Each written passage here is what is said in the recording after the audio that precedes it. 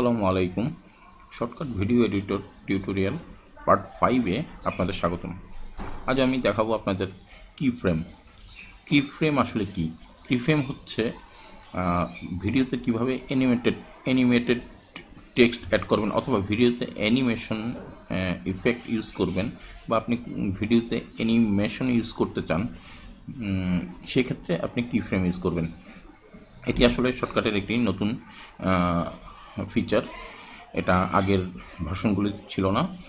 তো আমি আপনাদের আগের পর্বগুলোতেও বলেছি, এখনও বলছি, আপনাদের ভাষণটি যদি আপগ্রেড করা না থাকে, সেক্ষেত্রে আপনারা হেল্পে গিয়ে এখান থেকে আপগ্রেড করে নেবেন। ফ্রি ফ্রি ফ্রেম ইউজ করার জন্য আমরা প্রথমেই একটা ভিডিওকে ইনপুট করে নেব।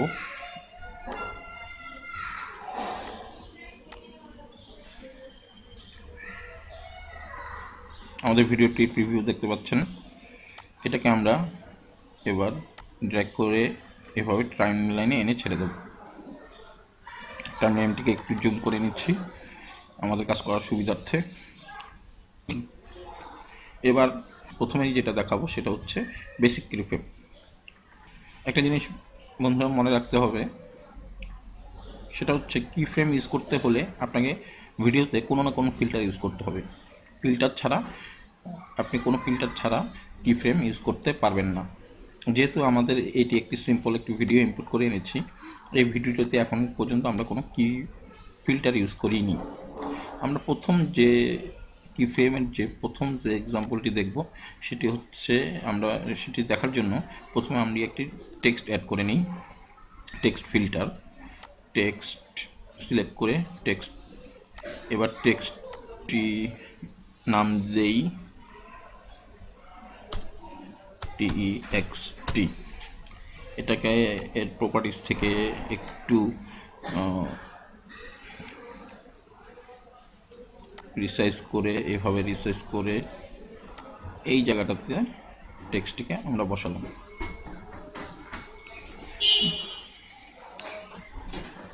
এবার এই টেক্সটটিকে যদি প্লে করি সেক্ষেত্রে পুরো ভিডিওটির জুড়েই টেক্সটি সবসময় থাকবে। এবার আমি কি ফ্রেম ইউজ করব। কি ফ্রেম আর ইউজ করার জন্য প্রথমে আপনাকে এখান থেকে কি ফ্রেমে ক্লিক করতে হবে। করলে নিচে এখানে কি ফ্রেমটা চলে আসবে। আপনারা চাইলে আপনাদের যেখানে শো করুক, যদি শো না করে, আপনারা আপনাদের মতন ড্র্যাগ অ্যান্ড ড্রপ করে এটিকে পজিশন করে হ্যাঁ আমি আমার এখানে এখানে টাইম লাইনের পাশাপাশি পজিশন করা আছে। তো কি ফ্রেমকে ক্লিক করলাম, করে বেসিক যে কি ফ্রেম সেটা হচ্ছে, আমি চাচ্ছি আচ্ছা আমি করেই দেখাই আগে। আমি কি ফ্রেম এভাবে টেনে কিছু দূর ছেড়ে দিলাম। স্টার্টিং পয়েন্টটুকু সিলেক্ট করলাম অ্যান্ড এন্ড পয়েন্ট কি ফ্রেমের এন্ড পয়েন্ট সিলেক্ট করলাম। এইভাবে ড্র্যাগ অ্যান্ড ড্রপ করে। এবার টাইম লাইনে যাই। টাইম লাইন থেকে এবার যদি আমরা ভিডিওটিকে প্লে করি, সেক্ষেত্রে দেখতে পাচ্ছেন টেক্সটটি এসে নির্দিষ্ট সময় পর্যন্ত শো করে আবার চলে যাচ্ছে।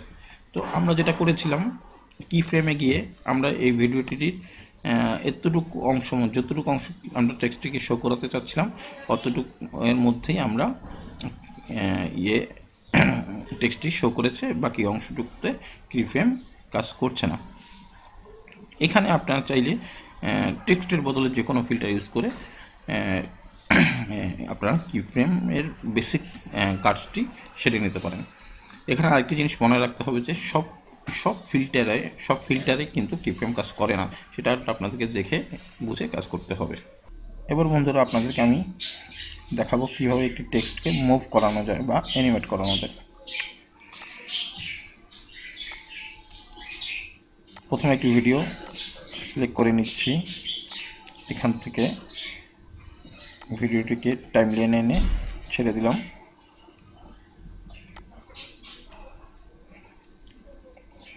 এবার একটি টেক্সট ফিল্টার নিচ্ছি।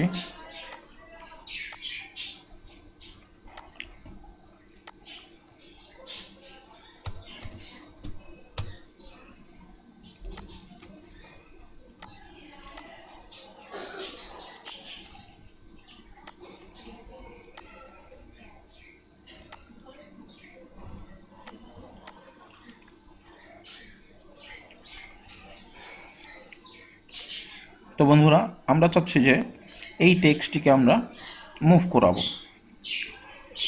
একটু ছোট করে নিই, তাহলে দেখতে মেবি আর একটু ভালো হয় টেক্সটটিকে। আমি এখানে পজিশন করলাম। একটা জিনিস জেনে নেওয়া ভালো shortcut shortcut video editor video এডিটরে আসলে যে কোনো জিনিস সাইজ এবং পজিশন এর করতে গেলে মূলত ভ্যালু ইউজ করে সেটাকে সাইজ অ্যান্ড পজিশন করাটাই বেটার এখানে আসলে এটার ইন্টারফেসটি আসলে অতটা ইউজার ফ্রেন্ডলি না। তো এটা আমাদের মাথায় রাখতে হবে, এটি এটি হচ্ছে পজিশন আর এটি হচ্ছে সাইজ এবার আমরা দেখব এই টেক্সটটিকে কীভাবে অ্যানিমেট করানো যায় বা মুভ করানো যায়। আমি চাচ্ছি যে এই টেক্সটটি বাম দিক থেকে এখানে আসবে মুভ হয়ে বাম দিক থেকে এখানে আসবে দেন এখানে কিছুক্ষণ শো করে আবার এখান থেকে ডান, ডানে চলে যাবে। এটি করার জন্য যেটা করব সেটি হচ্ছে প্রথমে কি ফ্রেম সিলেক্ট করব। আমরা এর আগে দেখেছি যে এখান থেকে এভাবে কি ফ্রেমের এরিয়া সিলেক্ট করা যায়, যে এতটুক অংশ থেকে এতটুক। এবার আমরা সেটা করব না, এবার যেহেতু আমরা অ্যানিমেট করব, এখানে আমরা আসলে এক্স্যাক্টলি ওটা হচ্ছে আমরা এরিয়া মানে এই টোটাল ভিডিওটির মধ্যে কতটুকু অংশ জুড়ে আসলে কি ফ্রেমটি কাজ করবে, সেই এরিয়াটি আমরা দেখেছিলাম যে এর আগে দেখেছি যে সেটা কতটুকু অংশ জুড়ে আসলে কি ফ্রেমটি কাজ করবে। এবার আমি দেখব, দেখাবো, সেটা হচ্ছে টেক্সটটিকে আমরা অ্যানিমেট করব। তো এখানে আপনারা একটি গোল হ্যান্ডেল দেখতে পাচ্ছেন, এখানেও একটি হ্যান্ডেল দেখতে পাচ্ছেন। আমি যখন, আমি কার্যটিকে ঠিক মাঝামাঝি রেখে এটিকে এভাবে মাঝে এনে ছেড়ে দিলাম। এবার এখানে দুটি বাটন দেখতে পাচ্ছেন, এগুলো দিয়ে আসলে ফরওয়ার্ড ব্যাকওয়ার্ড করা যায়। তো এখন যখনই আমি এটাকে টেনে লেফট সাইডের যে গোল রাউন্ডেড হ্যান্ডেলটি দেখতে পাচ্ছেন, সেটিকে যখন আমি টেনে এনে একটা নির্দিষ্ট অংশ পর্যন্ত ছেড়ে দিলাম ভিডিওর, তখন অলরেডি সে এখানে একটি ইফেক্ট তৈরি করেছে। আমি যখন এখন কি হচ্ছে দেখি আমরা একটু প্লে করে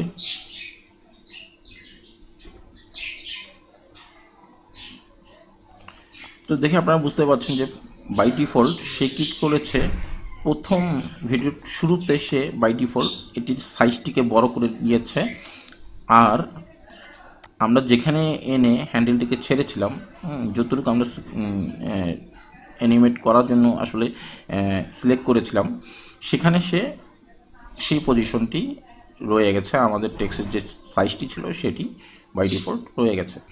তো এখন কিন্তু বাই ডিফল্ট একটি অ্যানিমেশন হচ্ছে। প্লে দিলে যেটি জুম থেকে জুম আউট হচ্ছে। আমরা চাচ্ছি যে এটা লেফট সাইড থেকে রাইট সাইডে আসবে অ্যানিমেট হয়ে। তারপরে রাইট এখান থেকে রাইট সাইডে চলে যাবে। তো এটা করার জন্য প্রথমে আমাদেরকে দেখে দেখতে হবে যে এই যে টেক্সট সাইজ আমাদের যেহেতু লেফট সাইড থেকে আসবে, তো এই এখন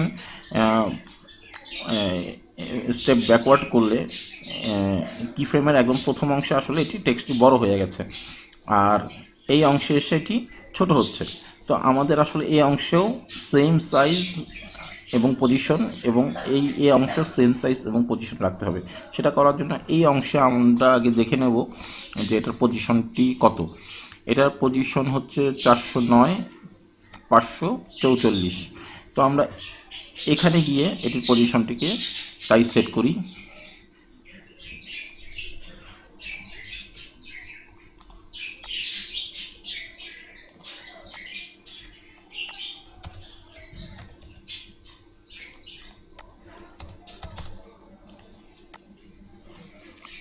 আর এখান থেকে দেখে নিই এটির সাইজটি কত আছে।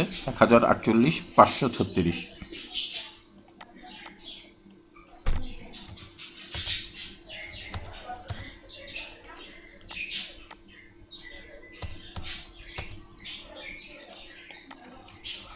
তো এবার আমাদের টেক্সটটি দুই পাশেই একই সাইজ এবং একই পজিশনে আছে। এবার আমরা যেটা করব ব্যাকওয়ার্ডে গিয়ে, এখানে গিয়ে আমরা টেক্সটটিকে লেফট সাইডে নিয়ে যাব। লেফট সাইডে নেওয়ার জন্য আমরা যেটা করব, এটাকে আমরা এই ভ্যালুটাকে কমিয়ে দিই। কিছুটা গেল, এবার আমরা এখানে মাইনাস ভ্যালু ব্যবহার করব। মাইনাস চারশো দিয়ে দেখি, কতটুকু যায়। মাইনাস এক হাজার। এটা মনে হয় ঠিক আছে ঠিক আছে। এবার আমরা প্লে করে দেখি আসলে ভিডিওটি কতটুক হচ্ছে। তো বন্ধুরা, দেখতে পাচ্ছেন, আমাদের অ্যানিমেশনের প্রথম অংশটুকু যেটি সেটি আমরা কমপ্লিট করেছি। এটি লেফট সাইড থেকে রাইট সাইডে এখানে চলে আসছে। এবার আমরা দ্বিতীয় অংশটিকে, এটিকে আমরা এখান থেকে রাইট সাইডে নিয়ে যাব। সেমভাবেই আমি এই হ্যান্ডেলটিকে আবার টেনে এনে এতটুকু ছেড়ে দিচ্ছি। এবার গিয়ে দেখি এটার পজিশন কি, সেটাই আছে। রাইটে যখন নেব, সেটি আবারও বাই ডিফল্ট আগের মতো বড় হয়ে যাচ্ছে। তো সেক্ষেত্রে আমরা যেটা করব, আবার আগের মতন এটা সাইজ অ্যান্ড পজিশন ঠিক করে নেব। তো আগে দেখে নিই, এটা সাইজ অ্যান্ড পজিশন কত আছে? সাই পজিশন হচ্ছে চারশো নয়, পাঁচশো চল্লিশ তো রাইটে গিয়ে চারশো নয়, পাঁচশো ছেচল্লিশ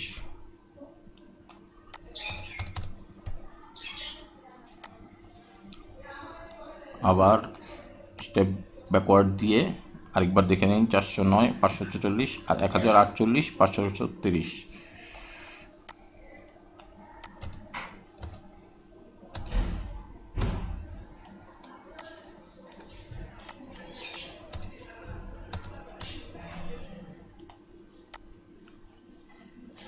এবার দেখি।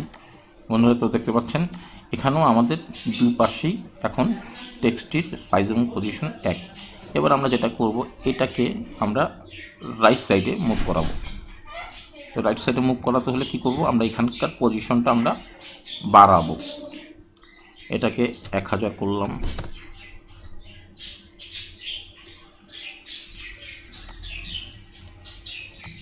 আর একটু বাড়াতে হবে, পনেরোশো।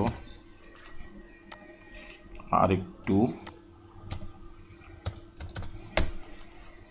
এবার মেবি ঠিক আছে। এবার আমরা পুরো ভিডিওটিকে প্লে করে দেখি।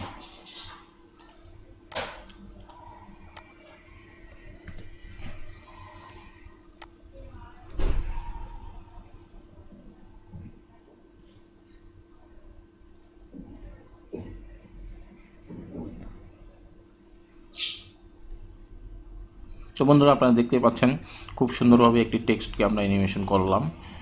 আর এখানে যে টেক্সটের যে বক্সটি দেখতে পাচ্ছেন চারিদিকে, এই বক্সটি আসলে যখন আপনি ভিডিওটিকে এক্সপোর্ট করবেন তখন সেটা শো করবে না। এখন জাস্ট এটি সিলেক্টেড অবস্থায় আছে বলে এই বক্সটি আসলে শো হচ্ছে। আসলে যখন আপনি এক্সপোর্ট করবেন, এই বক্সটি শো করবেন, শুধু টেক্সটি আসলে শো করবেন, এটি আপনাদের জানানোর জন্য। এটি নিয়ে আপনারা কনফিউজ হতে পারেন, এটা কনফিউজ হওয়ার কোনো কারণ নেই। আর আজ এই পর্যন্তই। আমি সামনের ভিডিওতে চেষ্টা করব যে আরও অ্যাডভান্স লেভেলে কিছু অ্যানিমেশন দেখানোর জন্য।